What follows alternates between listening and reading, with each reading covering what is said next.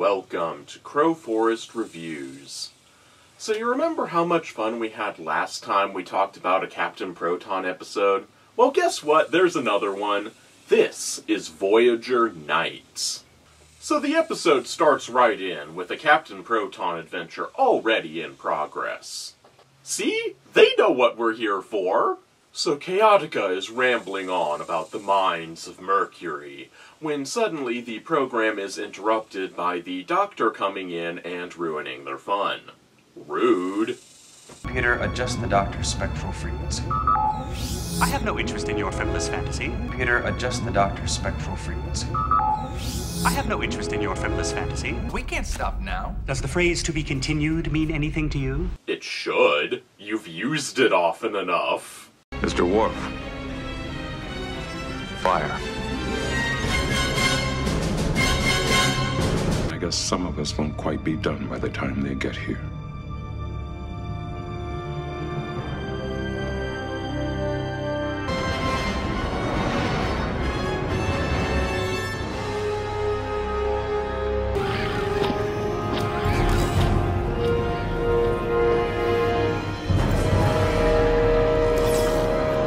Anyway, we soon learn that Voyager is passing through a vast, starless expanse of space, and as such, crew morale is at an all-time low.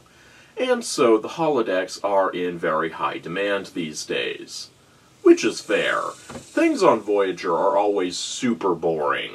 Watching the stars whiz by outside the windows is always the highlight of everyone's day. First thing in the morning, I replicate some curtains. Yeah, as funny as that line is, that's not really the root cause of what's going on here. No stars means no planets, which means no wacky adventures that they normally get up to, and also no supply runs. So, yeah, this does suck. But that's not what we're here for. So getting back to the real plot of this episode, Tom Paris brings Seven of Nine to the holodeck to play the role of Constance Goodheart. Harry Kim, however, is not with them on account of being far too busy composing the absolute masterpiece Echoes of the Void.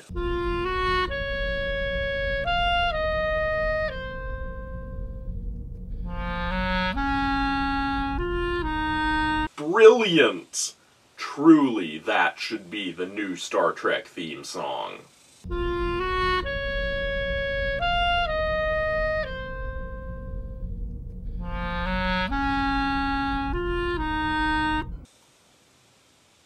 Make it so, Paramount Plus. So anyway, Seven of Nine's performance as Constance Goodheart is cut short by a ship-wide power outage which is really unfortunate because she was doing such an outstanding portrayal of that character.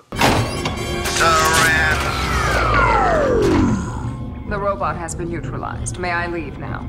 Oh, also, Captain Janeway is no longer acting emo. So, you know, that's a plus. The less said about her brief emo moment, the better. Tell me, what are you doing in the middle of nowhere? I know you are, but what am I? Wait, no, that's not the right response. So for some reason, the power outage doesn't shut down the holodeck. It just freezes the hologrid.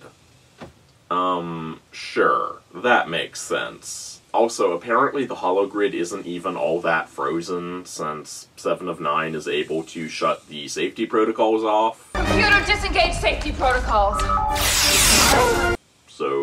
There's that. Anyway, Tom and Seven manage to fight off the intruders with the holographic laser pistols that they managed to get off the holodeck, somehow.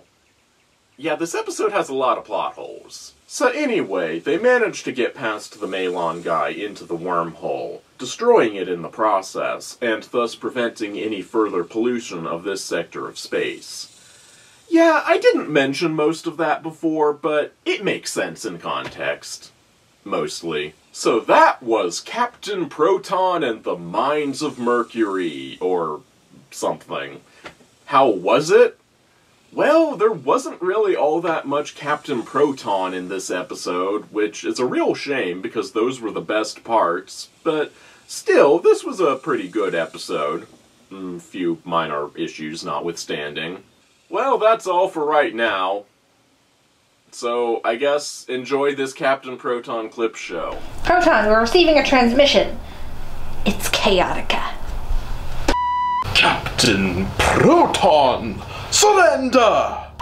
You'll never get away with this! Oh, but I shall! Welcome to Planet X, Where's the last place we went again? the mines of Mercury.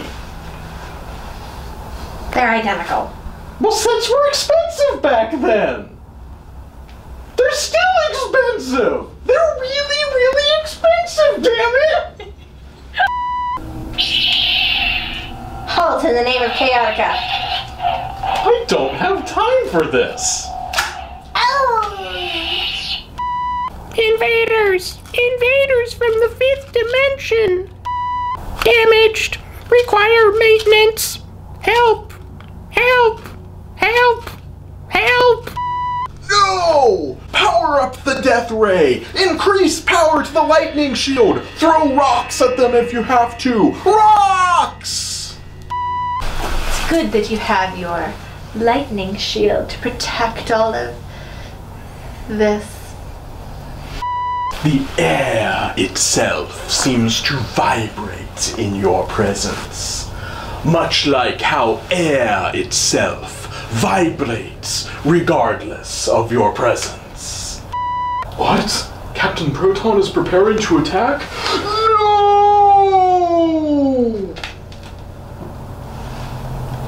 Feel free to join me in my. No! And that's my 99th episode, so my next one is the, um, the video essay. I should probably say that again in case I want this to be an actual promo, because as a promo, this kind of sucks. Um, and thus, um, my, um, that's a wrap on my 99th episode. Next up, the 100th episode video essay. Stay tuned. Yeah, that's a better promotion.